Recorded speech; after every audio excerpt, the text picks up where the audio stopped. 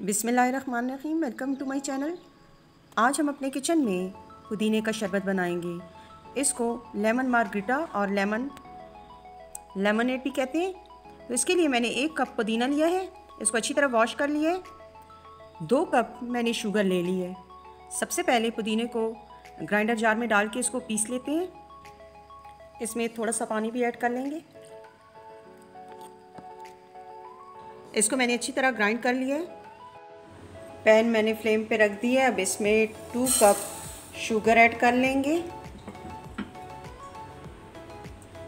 एक कप पानी का ऐड कर लेंगे।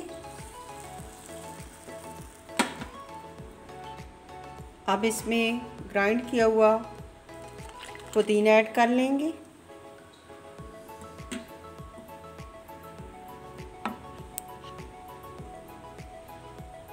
अब इसको अच्छी तरह पकाएँगे। ताकि ये थिक हो जाए।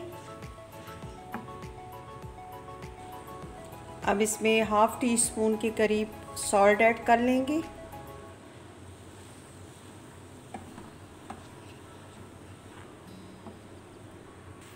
हाफ़ टी स्पून के करीब ब्लैक सॉल्ट ऐड कर लेंगे।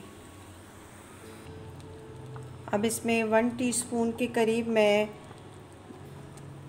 पिसा हुआ ज़ीरा ऐड कर रही हूँ। अब इसमें मैं फ़ूड कलर भी ऐड कर रही हूँ ग्रीन कलर ये ऑप्शनल है.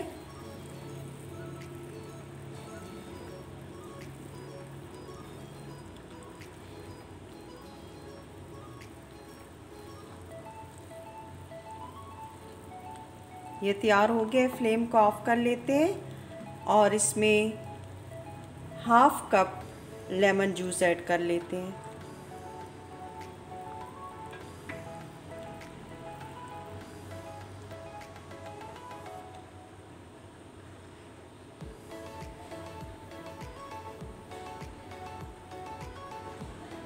और इसको ठंडा होने देते हैं। मज़ेदार और टेस्टी पुदीने का शरबत तैयार है। अब इसको ग्लास में सर्व कर लेते हैं। अब गिलास में आइस डाल लेते हैं। अब इसमें पुदीने का शरबत ऐड कर लेते हैं।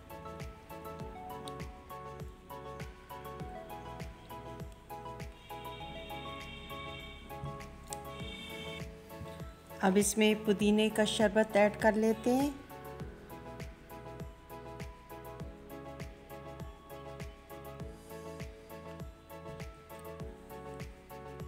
अब इसमें पानी भी ऐड कर लेते हैं।